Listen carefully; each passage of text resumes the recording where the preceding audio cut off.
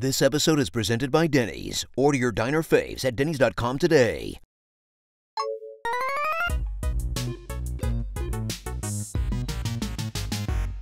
From the company that's perpetually the new hotness, in the sense that they're always having to put out fires, and the gold hoarding goblin that rules it all, comes another entry in their long standing franchise that really doesn't change a single thing at all. I mean, come on, we all know that this is just the anime filler episode until the next Modern Warfare. Call of Duty. Vanguard. Dive into the bullet fest that is Call of Duty, a franchise that's basically the worn piece of duct tape holding Activision together at this point, as Activision revisits the peanut butter and jelly of human conflict, World War II. Then revel in their extremely loose interpretation of it, with remote control RC bombs, personal radar, laser sight, and camo skins? As they try to fit the usual Call of Duty stuff into a World War II themed Halloween costume. Though arguing the historical accuracy of a Call of Duty game is like complaining about the authenticity of a gas station hot dog, sometimes you just shove it in your mouth and hope for the best.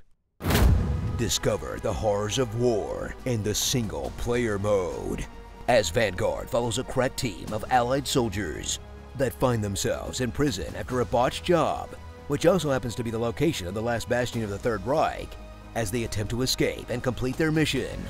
All while under the watchful eye of Nazi Hobbit Merry, which makes the torture scenes really hard to take seriously. Then watch as the characters leap into action by sitting in prison and reminiscing about their war achievements as you jump into various battles of the World War for about 5 minutes for character backstory that mostly just tells you that they're good at shooting things, in a single player mode that feels like you're watching a cutscene about half the time, and then wraps up in about a total of 5 hours. Making the story feel like it's moved past being a glorified tutorial and onto just being a platform to convince you to buy skins. You know, I'm just not going to be that interested in characters that look like they were Google stock photos of soldiers. Jump into the gauntlet that is the Call of Duty multiplayer, featuring a bevy of brand new modes and maps that will have you shedding lives like a winter coat as you try to navigate the winding tunnels and barns of wholly unfamiliar terrain, as you contend with more destructible environments, which basically just means you can now get murked through a doorway wall or other cover, potentially adding a whole new dimension to how you would usually play these games, which ultimately won't save you from the traditional Call of Duty dude that jumps around like a shotgun-toting rabbit hopped up on meth.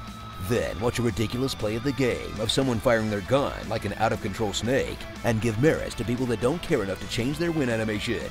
In a multiplayer experience that tries to shake things up the only way Activision knows how, extremely slowly and incrementally. Meaning this game is basically still the same thing you've been playing for decades. A formula so old that it's just around the corner from wrapping into novelty again. At this point, having someone call you a slur in a COD lobby is kinda nostalgic. Slay the murderous Nazis a second time in the updated Zombies mode.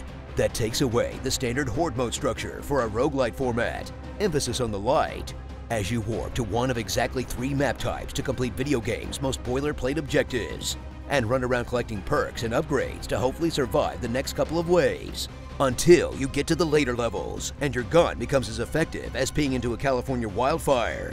Then weep as your teammates die one by one and you're slowly enclosed by the growing mob, till you can do nothing but watch yourself get pummeled to death. In a zombies zombie mode that doesn't do anything particularly special, except maybe remove most of the weird fun secrets. Even though they swear they're adding that later, you guys, they promise. For an experience that somehow manages to be the most generic of all the already generic things in this game. Yeah, I guess they used all the zombie celebrity budget on lawsuits this year. But how much does a Van Damme cameo cost? I mean, really. So get ready to open fire and open that wallet for another yearly tax on the college student stoners and adult children of America. Many of whom will have more fun getting angry on forums about the game than actually playing it.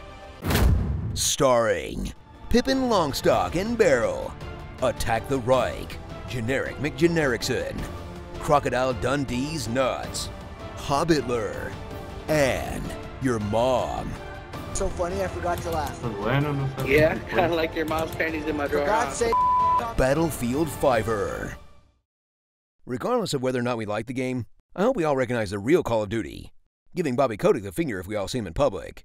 This episode is presented by Denny's. Get all your Denny's Diner favorites whenever and wherever with the new digital ordering experience at Denny's.com or download the Denny's mobile app today. See you at Denny's. Stop blaming your own incompetence on cosmic forces. The side of good isn't weak, it's you. There was supposed to be a joke or reference here, but I rolled a 3 on intelligence.